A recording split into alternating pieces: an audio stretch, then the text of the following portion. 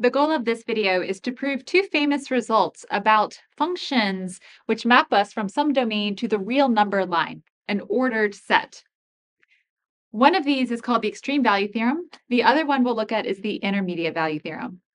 So take a moment to read the statement of the extreme value theorem and think about what it implies about a continuous function on a compact set and where you might need this theorem. So why would such a theorem ever be important? The extreme value theorem tells us that a real valued function which is continuous on a compact domain attains an infimum value and a supremum value. So here we're talking about the infimum and supremum for the set of outputs. You could call that f of a, the range of a. But here's the thing. If it attains the infimum, then the infimum is an actual output value. So it belongs to the set of outputs. It's part of the range, which means that this function attains a minimum and also a maximum.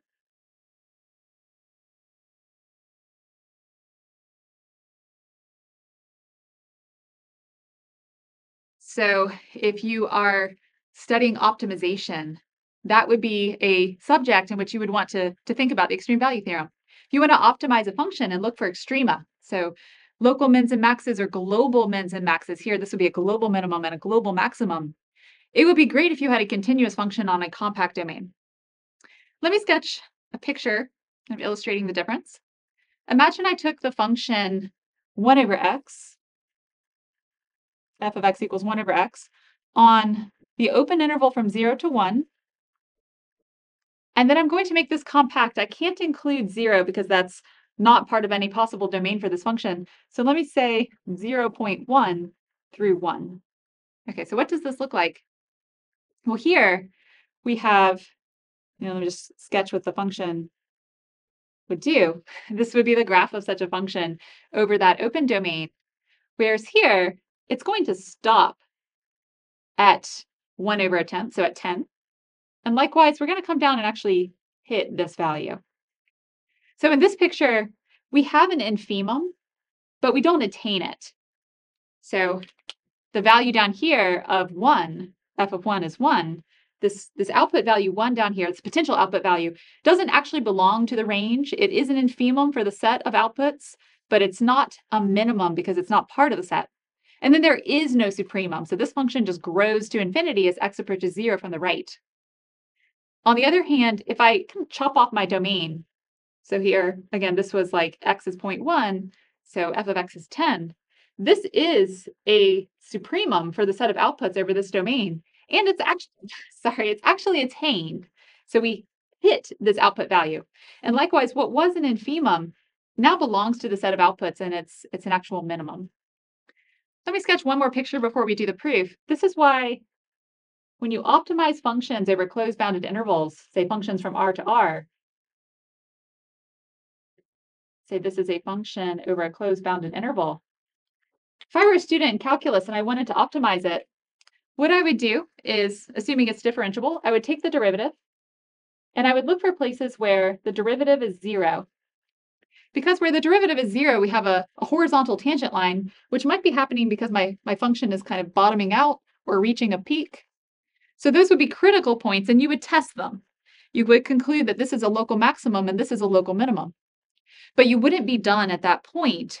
So there's this like check the endpoints procedure that calculus students follow without really theoretically knowing why they have to do that. And that's because uh, for such a function over this compact domain, we land on the endpoint value. So this uh, endpoint of the domain here is going to correspond to a function output.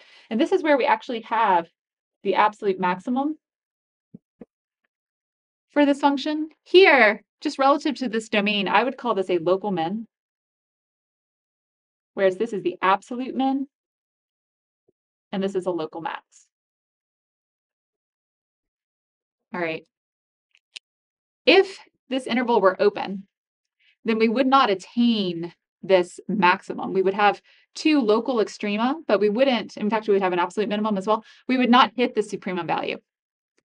Okay, so the extreme value theorem comes up in optimization. Hopefully you have the context here. I'm going to erase this And then we will do the proof. It's pretty fast because we have a lot of prior results about compact sets and continuity that we can appeal to. And then we will move on to an even faster proof of the intermediate value theorem. In an earlier video, we proved that the image of a continuous function on a compact set is compact. So we will open with that. Since f is continuous, so continuous, and A is compact, f of A is compact. Notice this is a compact subset of R.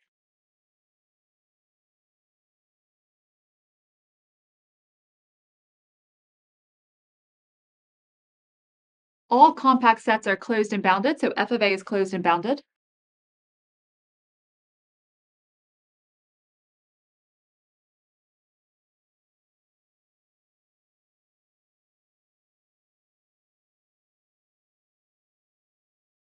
It is a bounded subset of R. By the supremum property, it has an infimum and supremum.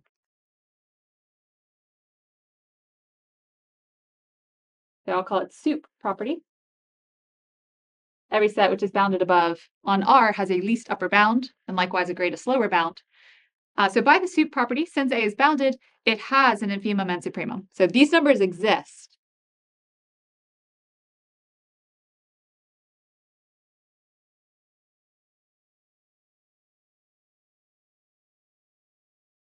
It has an inf and a sup.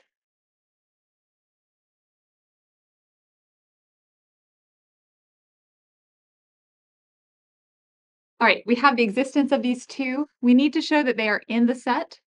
So boundedness gave us the existence. The fact that f of a is closed will put them in the set. Let me write out a very fast argument for that, and then I'll talk you through it if you didn't see it. And that is, um, infimums and supremums are in the closure of a set. So notice the inf of f of a. I'll just write it like that and sup of the range are in the closure of A.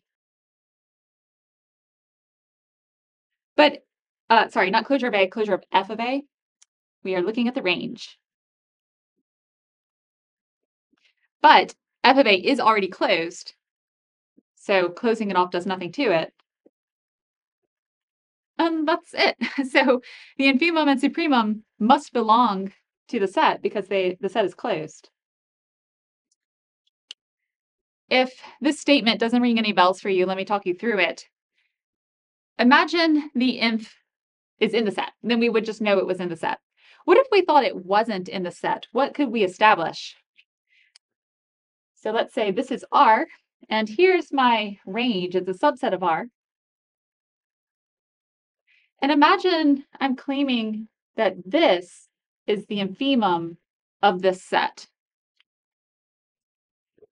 If I don't already know that this is in the set, or if, if I try to claim it's not in the set, then imagine I take any epsilon greater than zero and go distance epsilon to the right. If this does not belong to the set, then there must be a point of f of a somewhere in this interval between the inf and the inf plus epsilon. Sorry if I could squeeze inf plus some epsilon in there. Sorry if that's hard to read. But what I'm saying is if the infimum of a set is not in the set, as soon as you step a little bit to the right, you have to pick up a point from the step, the set. Otherwise, there would be a greater lower bound. So it's like if nothing from the set was in here, so if it really looked like this, no element from f of a could be found in here, then the infimum plus epsilon would be a greater lower bound, contradicting the fact that the infimum is the infimum. So if you think if, if the infimum is not in a set, it's an accumulation point of the set. So it's either in the set or it's an accumulation point. That's exactly what it needs to be in the closure of a set. Okay, so that's the extreme value theorem. And I will let you copy this down. We'll come back and look at the intermediate value theorem. What I'm presenting here is a more general form of the intermediate value theorem than you may have seen in real analysis one. In real analysis one, it's often stated from a domain, which is a closed bounded interval. And here I'm saying from any connected domain in a metric space to R. Okay, so the codomain here is still the Euclidean real number line. So take a moment to read this statement and kind of compare it to the intermediate value theorem, which you might be familiar with. And then I will come back and prove it. The proof is going to be super short, which is kind of funny because uh, proving this is often skipped in real analysis one, at least in the classroom, because, uh, well, I'll talk about that. So go ahead, read this. They'll come back. I'll spend more time talking about the proof than actually writing the proof, and then we will be done with this lesson.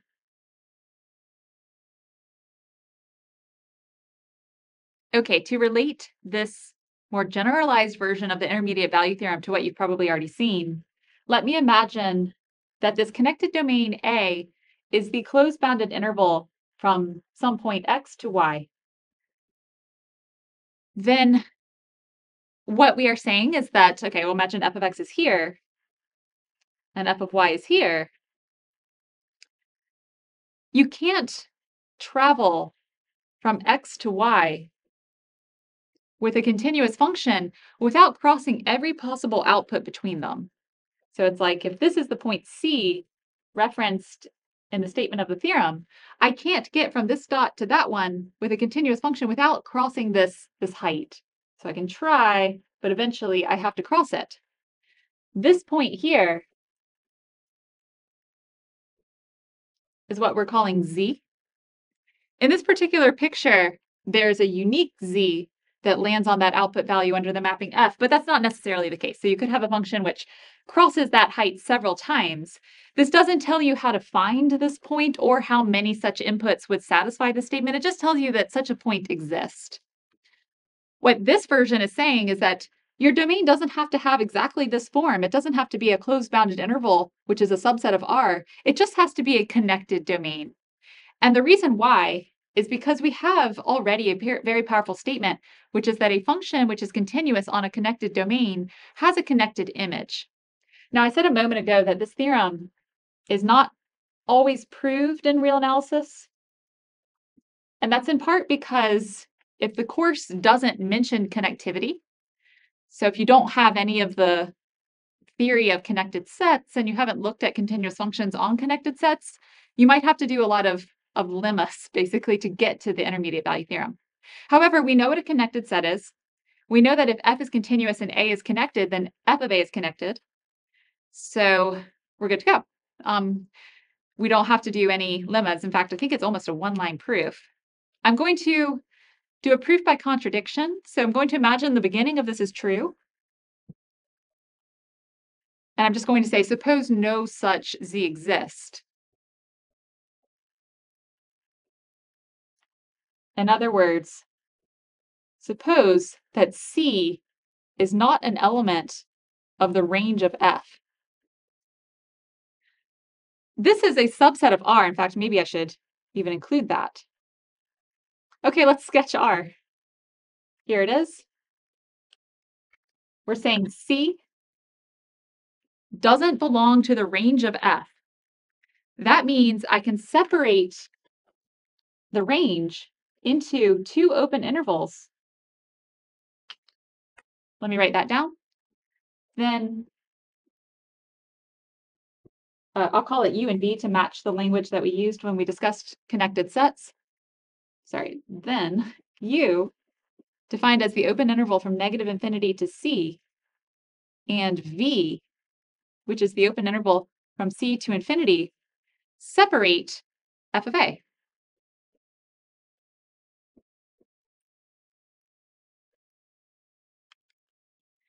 Together, they cover f of a because the only point that they don't cover with their union is c, but that's not in f of a. So every possible output is being covered. Um, they both contribute to the cover because by hypothesis, f of x is down here and f of y is over here. So both u and v are covering each individually some part of the range, and they don't overlap at all. So this is a valid separation of f of a. But if A is connected and F is continuous, F of A should be connected. We shouldn't be able to separate it. So F continuous and A connected imply together that f of a is also connected. And we've contradicted the line above. So you can see it's actually a, a nice short proof if you have the language of continuous functions on connected sets. Okay, let's go ahead and wrap up there. Thank you for your attention.